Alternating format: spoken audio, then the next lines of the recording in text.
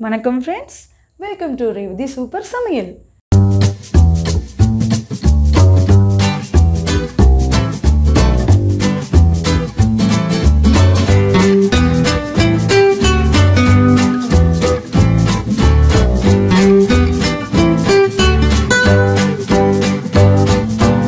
இன்றைக்கி நம்ம ஒரு புது சமையல் வீடியோவை பார்க்க போகிறோம் இந்த சமையல் வீடியோ பார்க்கறதுக்கு முன்னாடி ஒரு சின்ன விடுகதையை நான் சொல்ல போகிறேன் இந்த விடுகதைக்கான பதில் இந்த வீடியோவோட கடைசியில் இருக்குது அதனால் இந்த வீடியோவை ஃபுல்லாக ஸ்கிப் பண்ணாமல் பாருங்கள் இப்போ விடுகதையை பார்ப்போம்.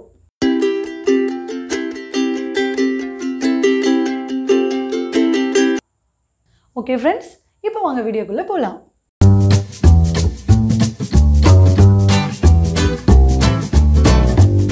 இன்றைக்கி நம்ம வந்து வெள்ளாத சத்துக்கு வந்து பார்த்திங்கன்னா நல்லா வந்து கொஞ்சம் நல்லா காய வச்சுட்டு அதை வந்து ஈரப்பதத்தோடையே நம்ம வந்து மாவு மிஷினில் கொடுத்து நம்ம அரைச்சிக்கலாம்.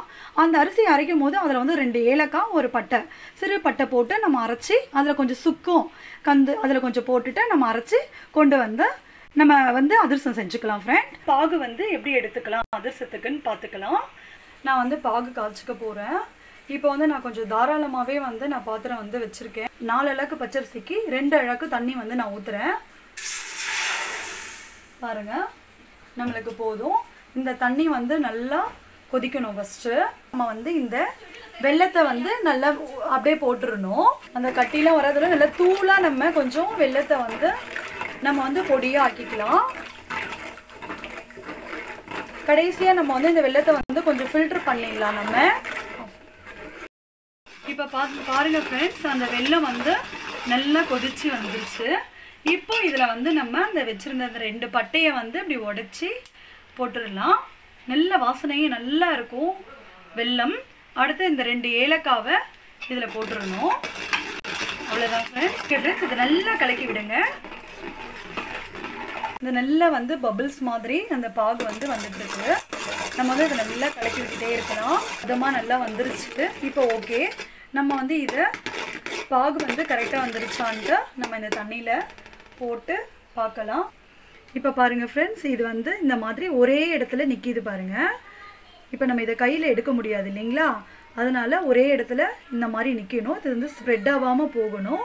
ஸோ இது ஒரே இடத்துல நிற்கிது இதுதான் கரெக்டான பதம் ஃப்ரெண்ட்ஸ் ஓகே நம்ம இதை வந்து இப்போது இறக்கிடலாம். இறக்கி ஆற வச்சுட்டு மாவு வந்து அடுப்பு மேலே போட்டு கலராதிங்க. இறக்கி வச்சுட்டு நம்ம வந்து கிளறலாம் இப்போ பாருங்கள் ஃப்ரெண்ட்ஸ் நான் வந்து மாவு வந்து ஜலிச்சுக்கிறேன்.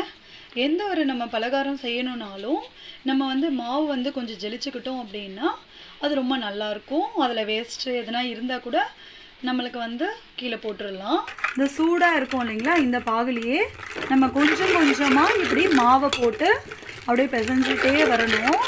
நல்லா கலக்கிட்டே இருங்க. இப்படி செஞ்சுட்டே வரணும். சப்போஸ் உங்களுக்கு வந்து மாவு வந்து எக்ஸ்ட்ரா இருந்துருச்சுன்னா நீங்கள் வந்து மாவை வந்து ஸ்டாப் பண்ணிக்கோங்க. உங்கள் கையில் டைட்டாக வர அளவில் நீங்கள் வந்து மாவு வந்து பிசைஞ்சுக்கலாம். இந்த பாகுக்கு ஏற்ற மாதிரி.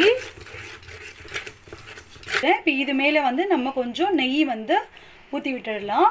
ஊற்றி விட்டுட்டு இப்படி நம்ம நல்லா இப்படி பண்ணி விட்டுட்டோம்னா இதில் வந்து அப்படியே இதுவாகிடும் இப்போ ஒரு ஒன் ஹவர் கழித்து இது நீங்கள் வந்து அதிர்சத்துக்கு நம்ம வந்து மூடி வச்சுருங்க. இதை இப்போ அதிரசம் வந்து நம்ம தட்டி போட்டுடலாம் எண்ணெயில்.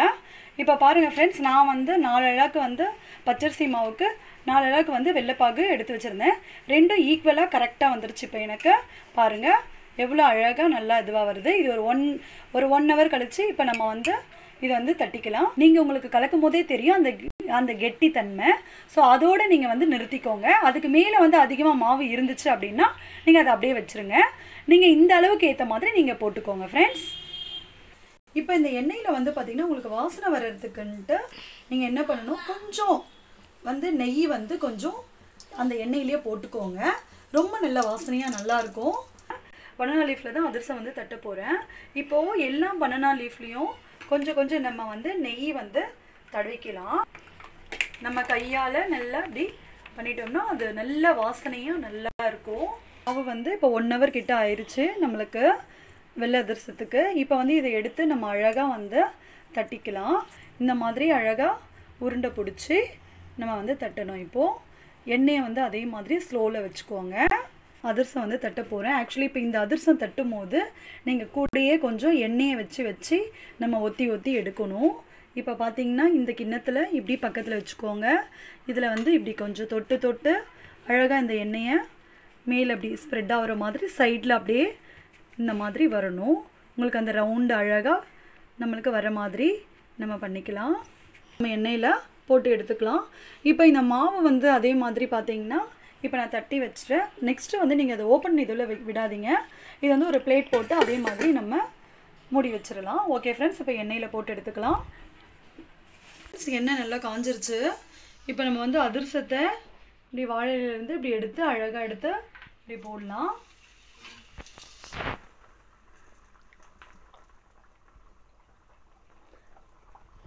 அது நல்லா அப்படியே பபிள்ஸ் எப்படி வந்திருக்கு பாருங்கள் ஒரு டூ செகண்ட் கழித்து அது வரும்போது மேலே அப்படியே வர மாதிரி இருக்கும். அப்போ நம்ம திருப்பி போடலாம். பாருங்கள் ஃப்ரெண்ட்ஸ் இப்போ மேலே வந்துருச்சு. நல்லா ஸ்லோலையே வச்சுக்கோங்க. இப்போ பாருங்கள் இப்போ அப்படியே இதை எடுத்து நம்ம இப்படி திருப்பி போட்டுக்கணும். பாருங்கள் ஃப்ரெண்ட்ஸ் எவ்வளோ பஃப்பாக நல்லா எவ்வளோ அழகாக வருது பாருங்கள் இந்த மாதிரி தான் வரணும். இப்படி வந்தால் தான் இது வந்து கரெக்டான பதம். நேற்று வந்து பாகு எடுத்திருக்கேன். இப்போ இன்றைக்கி நான் வந்து இது பண்ணியிருக்கேன். நீங்கள் வந்து பாகு எடுத்துட்டு உடனே நீங்கள் பண்ணிங்கன்னா உங்களுக்கு வந்து உடனே இந்த மா அதிர்சம் வந்து பிரிஞ்சு பிரிஞ்சு போகிற மாதிரி கூட உங்களுக்கு வாய்ப்பு வரும். ஸோ இந்த மாதிரி உங்களுக்கு வரும்போது இந்த மாதிரி ஒரு நாள் நீங்கள் பாகு எடுத்துட்டு மறுநாள் நீங்கள் எடுத்தீங்கன்னா அதிர்சம் இந்த மாதிரி பஃபோ நல்லா வரும் பாருங்கள் எவ்வளோ அழகாக இருக்குன்னு. இதை அப்படியே திரும்ப ஒரு பக்கம் அப்படியே திருப்பி போட்டுக்கோங்க.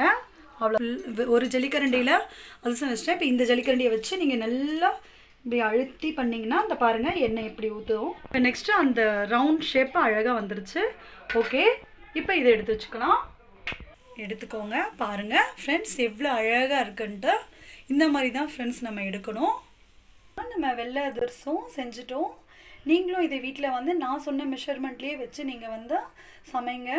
ரொம்ப நல்லாயிருக்கும் பாருங்கள் இப்போ அந்த அதிரசத்தை நம்ம இப்படி உடச்சி இப்படி பண்ணும்போது பாருங்கள் இவ்வளோ அழகாக ப்ரௌனிஷாக நல்லா இருக்குது கிறிஸ்பியாகவும் ப்ரௌனிஷாகவும் சாஃப்டாகவும் இருக்குது இங்கே பாருங்கள் இப்போ நான் இப்படி பண்ணி பார்த்தா பாருங்கள் எவ்வளோ அழகாக இருக்குது இந்த குழந்தைங்க ரொம்ப விரும்பி சாப்பிடுவாங்க. இதை வந்து சமைச்சு பாருங்கள் வீட்டில். என்ன ஃப்ரெண்ட்ஸ் எல்லோரும் இந்த வீடியோவை என்ஜாய் பண்ணி பார்த்துருப்பீங்க நம்புகிறேன் இந்த வீடியோ பிடிச்சிருந்தா லைக் பண்ணுங்கள் கமெண்ட் பண்ணுங்கள் ஷேர் பண்ணுங்கள் மறக்காமல் சப்ஸ்கிரைப் பண்ணுங்கள் ஓகே ஃப்ரெண்ட்ஸ் நான் ஏதாவது வீடியோ நான் பண்ணணும்னு நினச்சிங்கன்னா நீங்கள் மறக்காமல் கமெண்ட் பாக்ஸில் மென்ஷன் பண்ணுங்கள் ஓகே ஃப்ரெண்ட்ஸ் பை பாய்